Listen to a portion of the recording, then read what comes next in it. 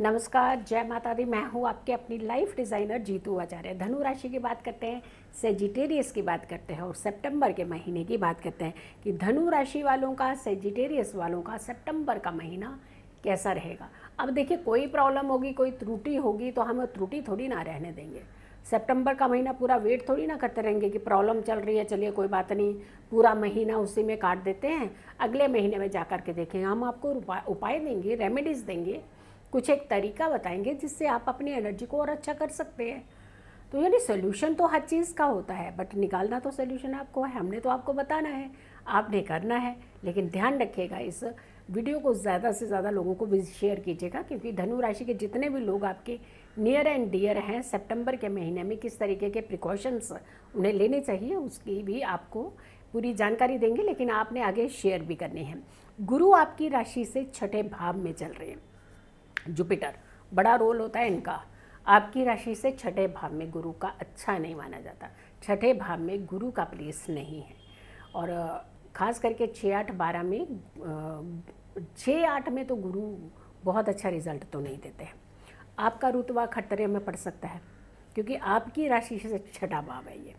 तो आपके लिए खास करके ध्यान रखने की ज़रूरत है।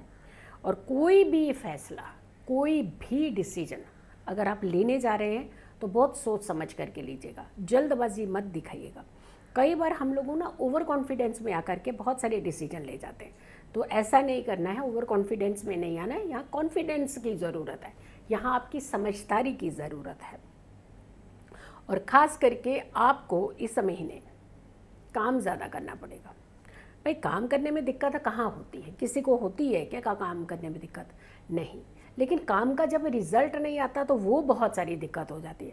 हर कोई सोचता है कि हम इतनी मेहनत करते हैं, इतना तो मिलता ही नहीं है। इतनी मेहनत करते हैं, इतना तो रुतबा भी नहीं बढ़ता हमारा, इतना हमें रिकग्निशन भी नहीं मिलता। तो वहाँ प्रॉब्लम होती है जब हमें रिकग्नाइज नहीं करता, कोई रिकग्निशन नहीं मिलता, कोई अप्रिसिएशन नहीं मिलता, कोई तब जा कर के हमें दिक्कतें होती है। हाँ थोड़ा सा इसमें, इस महीने में ये दिक्कत फेस करनी पड़ सकती है आपको। मंगल की सातवीं दृष्टि आपकी राशि के ऊपर पड़ रही है। और आपकी आपकी राशि पर इनकी सातवीं दृष्टि मंगल की पढ़ने से क्या होगा? आपको वैसे तो स्ट्रांग बनाते हैं ये। मंगल हमेशा एक पुश करते हैं, एक बल देते हैं आपको। लेकिन सिर्फ़ क्या बल देते हैं? अग्रेसिव प्लेनेट है ना तो कई बार जब आपकी राशि का प्लेनेट सही जगह प्लेस नहीं होता और ऊपर से मेलिफिक प्लेनेट आपको देख ले तो वहाँ थोड़ा सा स्ट्रॉन्गनेस तो देगा देगा, लेकिन उलझने भी बढ़ा देते हैं। अननेसेसरली की उलझने कुछ बढ़ सकती हैं, कोई प्रॉब्लम्स क्रिएट हो सकती हैं, लेकिन हम आपको कहा ना कि डरना नहीं है, किसी भी राशि से डरना नहीं होता है। हम अवेयर हो जाते हैं। अगर मुझे पता चल जाए कि हमने सामने खाई है तो मैं कूदूँगी नहीं ना उसमें जा कर के। साइड से निकलने का प्रयास करेंगे। तो यही राशि का मकसद होता है, यही आपके लिए एक अवेयरनेस आप तक पहुँचाने का हमारा मकसद होता है। शनि की दृष्टि बुद्ध आदित्य राजयोग के ऊपर पड़ रही है। अब देखिए, राजयोग तो है तो शनि उसको देखें और वो भी आपको मालूम है कि वक्रिय चाल में चल रहे हैं। तो ऐसे में अगर हम बिज़नेस की बात करें या काम की बात करें या आपके सर्विस की बात करें तो आपको उतना ज़्यादा लाभ नहीं मिलेगा जितना आपको पहले मिल रहा था। थोड़ा सा डिस्टर्ब कर सकते हैं। मेहनत ज़्यादा करवाएँगे, लेकिन रिज़ल्ट थोड़ा सा कम हो सकता है। कम हो सकता है। हम ये नहीं करें कि बिल्कुल नहीं मिलेगा आपको, कुछ भी नहीं मिलेगा, ऐसा नहीं है। कम हो सकता है। तो लेकिन हमें थोड़ी सी कमी भी तो बर्दाश्त नहीं होती ना। जैसे किसी को दस हज़ार मिलते हैं, उसके नौ हज़ार कर दो। देखो ज़रा कैसे होता है। अब थोड़ा सा भी कॉम्प्रोमाइज़ नहीं कर पाते हैं कई बार हम लोग। तो इसी वजह से विचलित बनाता है, इसी वजह से गुस्सा आता है, क्रोध आता है। तो ये थोड़ा सा आपको डिस्टर्ब कर सकता है। लेकिन जैसे जैसे आप अंतिम महीने की तरफ़ जा रहे होंगे मिडल क्रॉस कर लेंगे, उसके बाद आपको कुछ खास लाभ मिलने वाले हैं, कुछ खास फ़ायदे हो तो थोड़ा सा थोड़ा समय तो थोड़े दिन तो व्यतीत कर लीजिए। जैसे जैसे मिडल से आगे जाएँगे तो वहाँ धीरे धीरे आपकी चीज़ों में चेंजेस आना शुरू हो जाएगा। और ख़ास करके आपको अम, कहीं से धन मिल रहा है कहीं से कोई काम मिल रहा है कहीं से कोई रिकग्निशन मिल रही है कहीं से कोई अप्रिसिएशन मिल रही है तो ये जितनी चीज़ें पहले कम थी उतनी चीज़ें बढ़ना शुरू हो जाएँगी। और स्वास्थ्य की अगर हम बात करेंगे तो मिडल के बाद में जाकर के स्वास्थ्य बेहतर दिखाई दे रहा है थोड़ा सा पहले है तनाव है, थोड़ा स्ट्रेस है, थोड़ा सा उथल पुथल हो सकती है। लेकिन आपको जैसे जैसे आप मिडल तक पहुँचेंगे मंथ के तो उसके बाद चीज़ें जो है आपकी कंट्रोल होना शुरू हो जाएँगी।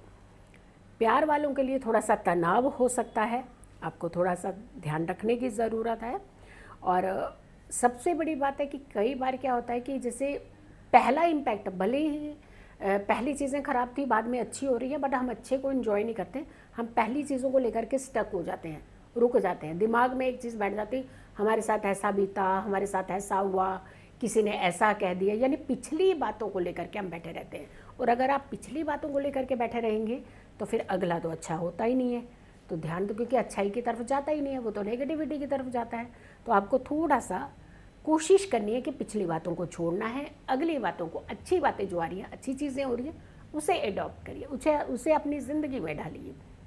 वहाँ जा कर के आपको चीज़ें जो है बेटर आपकी खुद की बेटर चीज़ें होना शुरू हो जाएँगी।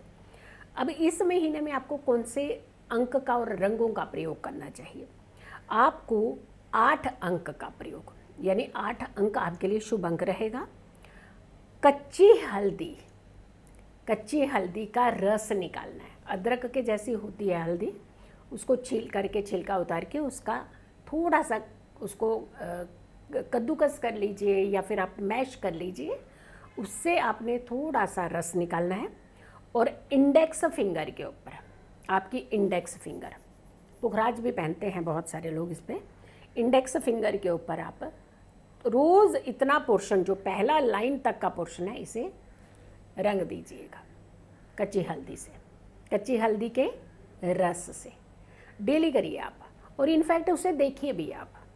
बहुत अच्छा भी एनर्जी फील करेंगे। और रंग जो है आपको पीले रंग का इस्तेमाल आपने ज़्यादा करना है इस महीने में। येलो कलर का आप ज़्यादा इस्तेमाल कीजिएगा। सूदिंग कलर के कपड़े येलो सूदिंग कलर आप पहन सकते हैं। कुछ हैंकी रख सकते हैं, कुछ धागा बाँध सकते हैं आप। इनफैक्ट कच्ची हल्दी की गांठ भी आप पीले कपड़े में बाँध करके अपने साथ रख सकते हैं। अक्षर जो है, ग अक्षर। कागज़ के ऊपर ग अक्षर लिखना है, लेकिन पहले एक वो लिखना है, मंत्र लिखना है। ओम गुरु वे नमः। ओम गुरु वे नमः। इस मंत्र को लिख करके नीचे आप ग अक्षर लिखिए, कच्ची हल्दी से ही लिखिएगा। कागज़ को फोल्ड कीजिएगा और इस कागज़ को अपने साथ पूरा महीना अपने पर्स वॉलेट में डाल करके रखिएगा। चीज़ें अच्छी होंगी, कंट्रोल होंगी। चीज़ों को आप बैलेंस कर पाएँगे। कोई एक एनर्जी होती है जो हमेशा आपके साथ चलना चाहती है। लेकिन ये हमारे ऊपर डिपेंड करता है कि हम कौन सी एनर्जी को लड़के जाएँगे घर से निकलेंगे रोज़ तो बुरी एनर्जी आपके साथ चलेगी। पॉजिटिव सोच करके जाएँगे तो पॉजिटिव एनर्जी रहेगी।